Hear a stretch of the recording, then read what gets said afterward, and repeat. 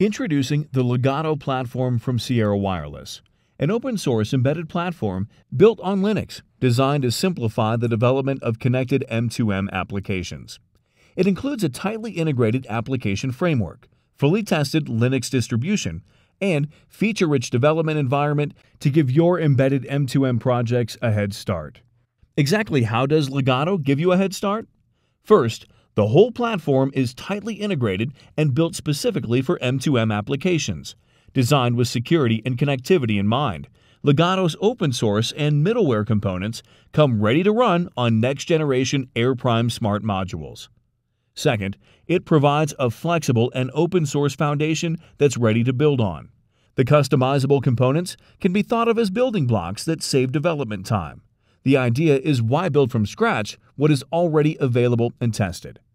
Third, the Legato platform comes ready to connect to any cloud, any network, and any peripheral device out of the box. Designed for connected products, Legato seamlessly connects to the AirVantage M2M cloud, and its robust APIs connect easily to mobile networks, wide area networks, and personal area networks. And remember, it's open source, so if you decide to change your application processor, you don't have to throw away all the software invested in existing projects. You can simply port Legato over to the next one. Why would you want to start your embedded project with anything else?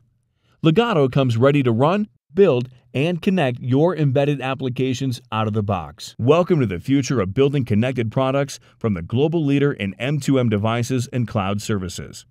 To learn more about the Legato platform, go to sierrawireless.com/legato.